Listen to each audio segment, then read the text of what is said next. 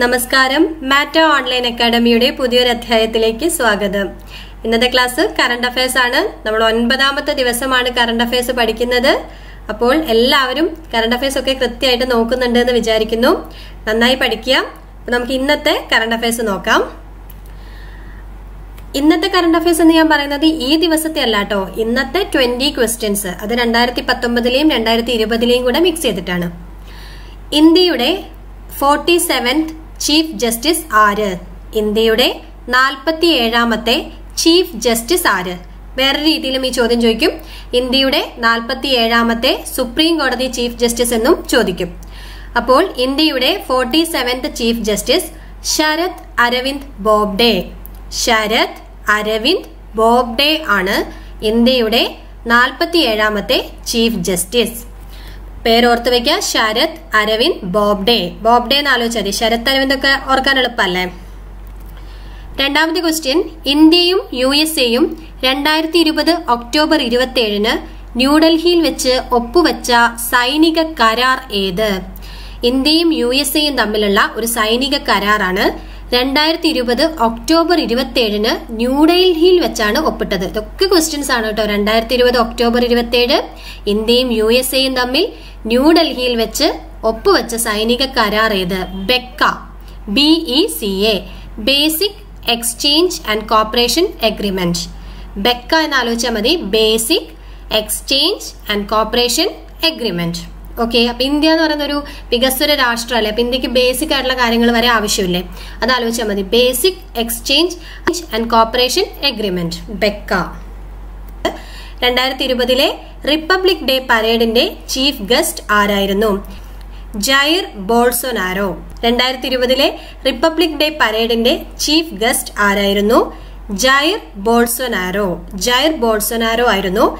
രണ്ടായിരത്തി ഇരുപതിലെ republic day പരേഡിന്റെ ചീഫ് ഗസ്റ്റ്. ജയർ ബോൾസൊനാരോ ഏത് രാജ്യത്തെ പ്രസിഡന്റ് ആണ് ജയർ ബോൾസൊനാരോ ഏത് രാജ്യത്തെ പ്രസിഡന്റ് ആണ് ബ്രസീലിന്റെ ഇപ്പോഴത്തെ പ്രസിഡന്റ് ആണ് ജയർ ബോൾസൊനാരോ. Bolsonaro Brazil. അങ്ങനെ ആലോചിച്ചാൽ മതി. ഒക്ടോബർ ഇരുപത്തിയേഴ് മുതൽ നവംബർ രണ്ട് വരെ കേന്ദ്ര വിജിലൻസ് കമ്മീഷൻ ആചരിച്ച വിജിലൻസ് അവയർനെസ് വീക്കിന്റെ തീം എന്താണ്? വീക്ക് തീം എന്ത്? ഒക്ടോബർ ഇരുപത്തിയേഴ് മുതൽ നവംബർ രണ്ട് വരെ കേന്ദ്ര വിജിലൻസ് കമ്മീഷൻ ആചരിച്ച വിജിലൻസ് അവയർനെസ് വീക്കിന്റെ തീം എന്ത്? Vigilant India prosperous India. അപ്പൊ വിജിലൻസ് കമ്മീഷനാണ് അതുകൊണ്ട് vigilant India prosperous India. October ഇരുപത്തിയേഴ് മുതൽ നവംബർ രണ്ട് വരെയാണ് ആചരിച്ചത് കേന്ദ്ര vigilance commission vigilance awareness week അതിന്റെ theme vigilant India prosperous India. പ്രഥമ കെ എം ബഷീർ സ്മാരക മാധ്യമ അവാർഡ് ലഭിച്ചത് ആര് അനു എബ്രഹാം. പ്രഥമ കെ എം ബഷീർ സ്മാരക മാധ്യമ അവാർഡ് ലഭിച്ചത് അനു എബ്രഹാം. പ്രഥമ കെ എം ബഷീർ സ്മാരക മാധ്യമ അവാർഡ് അനു എബ്രഹാമിനാണ് ലഭിച്ചത്. സദൈവ് അടൽ ആരുടെ സ്മാരകമാണ്?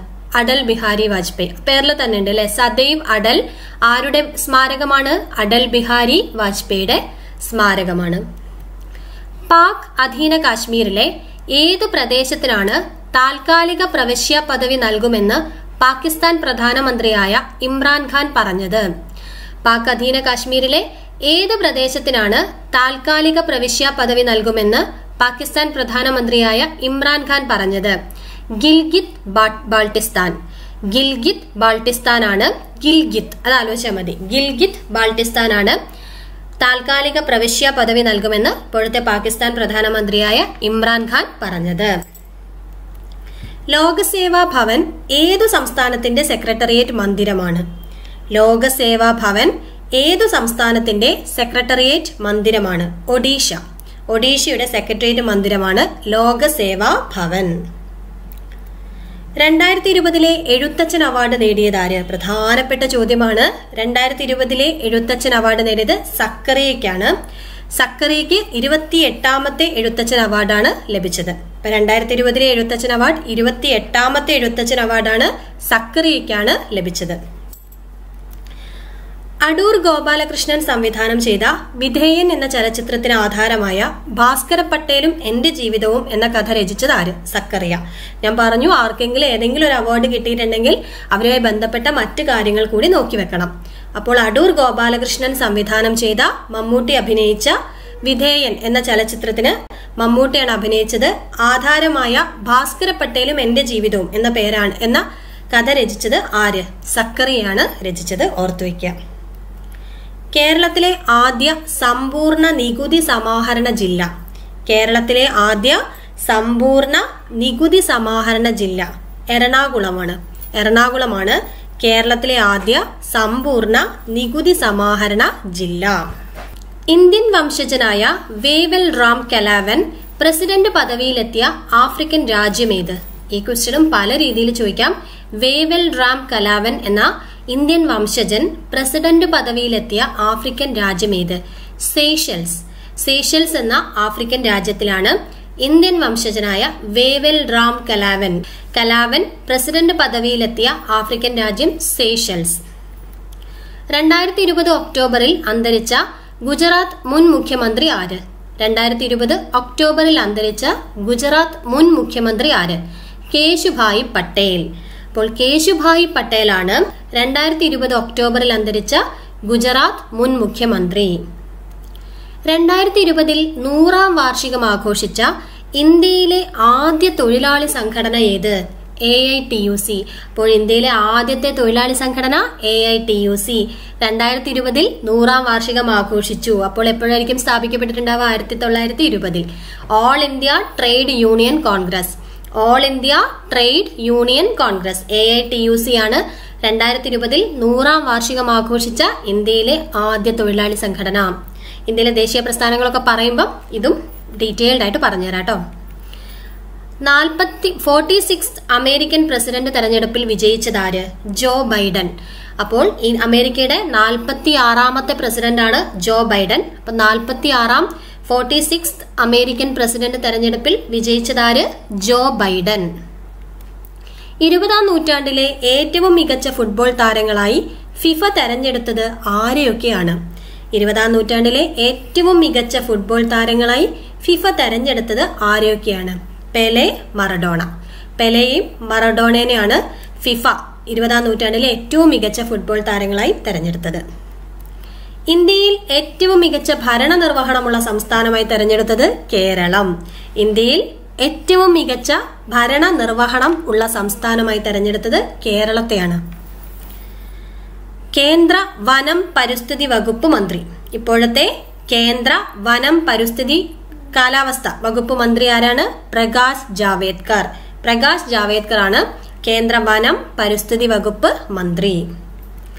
കേരളത്തിലെ അവയവദാന പദ്ധതിയായ മൃതസഞ്ജീവനിയുടെ ബ്രാൻഡ് അംബാസിഡർ ആര്? കേരളത്തിലെ അവയവദാന പദ്ധതിയായ മൃതസഞ്ജീവനിയുടെ ബ്രാൻഡ് അംബാസിഡർ ആര്? മോഹൻലാൽ ആണ് കേട്ടോ മോഹൻലാൽ ആണ് മൃതസഞ്ജീവനിയുടെ ബ്രാൻഡ് അംബാസിഡർ. നമുക്ക് എല്ലാ ചോദ്യങ്ങളും ഒന്നും കൂടി നോക്കാം. ഒന്നാമത്തെ ചോദ്യം ഇന്ത്യയുടെ ഫോർട്ടി സെവൻത് ചീഫ് ജസ്റ്റിസ് ആര്? ശരത് അരവിന്ദ് ബോബ്ഡേ. ശരത് അരവിന്ദ് ബോബ്ഡെ. ഇന്ത്യയും യു എസ് എയും രണ്ടായിരത്തി ഇരുപത് ഒക്ടോബർ ഇരുപത്തിയേഴിന് ന്യൂഡൽഹിയിൽ വെച്ച് ഒപ്പുവെച്ച സൈനിക കരാർ ഏത്? BECA. Basic exchange and cooperation agreement രണ്ടായിരത്തി ഇരുപതിലെ റിപ്പബ്ലിക് ഡേ പരേഡിന്റെ ചീഫ് ഗസ്റ്റ് ആരായിരുന്നു? Jair Bolsonaro. ജയർ ബോൾസോനാരോ ആണ് രണ്ടായിരത്തി ഇരുപത് റിപ്പബ്ലിക് ഡേ പരേഡിന്റെ ചീഫ് ഗസ്റ്റ്. ജയർ ബോൾസനാരോ ഏത് രാജ്യത്തെ പ്രസിഡന്റാണ്? ബ്രസീൽ. ഒക്ടോബർ ഇരുപത്തിയേഴ് മുതൽ നവംബർ രണ്ട് വരെ കേന്ദ്ര വിജിലൻസ് കമ്മീഷൻ ആചരിച്ച വിജിലൻസ് അവയർനെസ് വീക്കിന്റെ തീം എന്ത്? Vigilant India prosperous India. പ്രഥമ കെ എം ബഷീർ സ്മാരക മാധ്യമ അവാർഡ് ലഭിച്ചതാർക്ക്? അനു എബ്രഹാം. സദൈവ് അടൽ ആരുടെ സ്മാരകമാണ്? അടൽ ബിഹാരി വാജ്പേയി. പാക് അധീന കാശ്മീരിലെ ഏത് പ്രദേശത്തിനാണ് താൽക്കാലിക പ്രവിശ്യ പദവി നൽകുമെന്ന് പാകിസ്ഥാൻ പ്രധാനമന്ത്രിയായ ഇമ്രാൻഖാൻ പറഞ്ഞത്. ഗിൽഗിത് ബാൾട്ടിസ്ഥാൻ ലോക്സേവാ ഭവൻ ഏതു സംസ്ഥാനത്തിന്റെ സെക്രട്ടേറിയറ്റ് മന്ദിരം ആണ്? ഒഡീഷ. രണ്ടായിരത്തി ഇരുപതിലെ എഴുത്തച്ഛൻ അവാർഡ് നേടിയതാര്? സക്കറിയ ഇരുപത്തെട്ടാമത്തെ എഴുത്തച്ഛൻ അവാർഡാണ്. അടൂർ ഗോപാലകൃഷ്ണൻ സംവിധാനം ചെയ്ത വിധേയൻ എന്ന ചലച്ചിത്രത്തിന് ആധാരമായ ഭാസ്കര പട്ടേലും എന്റെ ജീവിതവും എന്ന കഥ രചിച്ചതാര്? സക്കറിയ.